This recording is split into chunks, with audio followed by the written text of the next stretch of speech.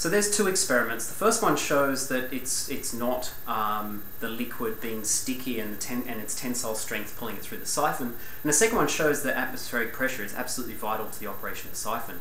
And so to summarize on that, I would basically say that if you wanted to correct the definition of um, a siphon in a dictionary, you could do it in two, one of two ways. You could say first that it's a, uh, it's a tube that takes a liquid from one container to another um, it's driven by a difference in pressure, and that that difference in pressure can be generated by gravity. There's one definition. If you want to be a little bit more technical, you could say that it's basically a tube that runs liquid from one container to another, um, controlled by Bernoulli's equation, and of course pressure difference and gra uh, gravity turn up in that equation. Now there's one really nice killer experiment that you can do to prove that it's atmospheric pressure and not tensile strength in the liquid that um, makes this siphon work. And while you've been watching this, you've probably been concentrating on the fact that the water goes from here down to there, and not so much on the fact that it actually goes up first.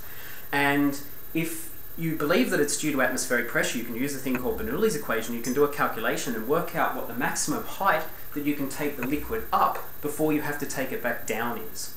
So I can make this go up just a few centimeters like I have here, and I can make a version of this where I go up a meter, and I can make a version of this where I go up 10 meters, and a version where I go up 100 meters, and I should see if all those siphons work. And if you do the calculation, um, knowing the uh, density of water, gravity on Earth, and the pressure of the atmosphere, what you find is that you shouldn't be able to go any more than about 10 meters up and come back down. And if you make your siphon higher than 10 meters, it should stop working. Uh, as you can probably tell, my office is tall, but it's not that tall. I don't have 10 meters in here, so I'm going to have to make this the subject of another video that I'll post a little bit later.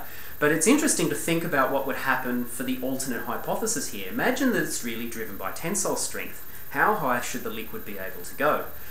It's a tough calculation to do, I suspect, but we can get an estimate, and the place where we can get an estimate is from the tallest tree in the world.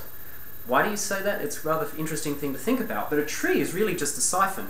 But for a tree, it's a very special siphon. Rather than having a rather thick tube like this, which is much larger than the size of the molecules of the water, and that sort of cohesion between the water mo molecules doesn't really matter very much.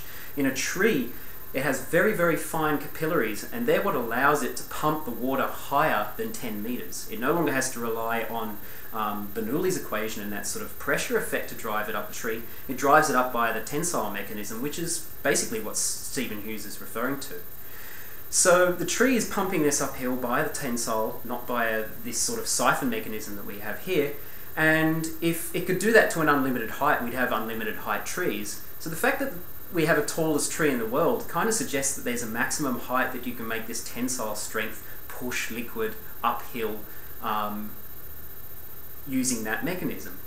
And so the tallest tree in the world um, is in um, North Western California. It's a redwood tree and it's on the order of about 100 or 120 metres high. And if you search your way around the world, be it Australia or America or other continents, you'll never really find trees that get to be much more taller than about 120 metres. There was a paper in Nature about this last year.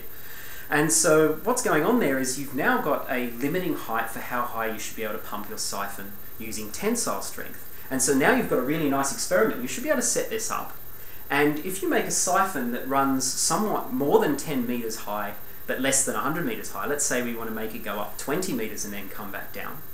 If it's atmospheric pressure and gravity that drives that siphon, then the siphon shouldn't work. But if it's tensile strength of the water that drives that siphon, as Stephen Hughes is claiming, then that siphon should work. And so what a really nice experiment that I'll do for a future video, I'm going to have to do it outside the building and suspend my hoses from a couple of floors up, is to take my siphon and start it running nice and low and raise that loop up higher and higher and higher. And when it comes up through about 10 meters, that siphon should stop working and I should be able to keep raising it and that siphon shouldn't start again. That will prove that it's due to atmospheric pressure and gravity.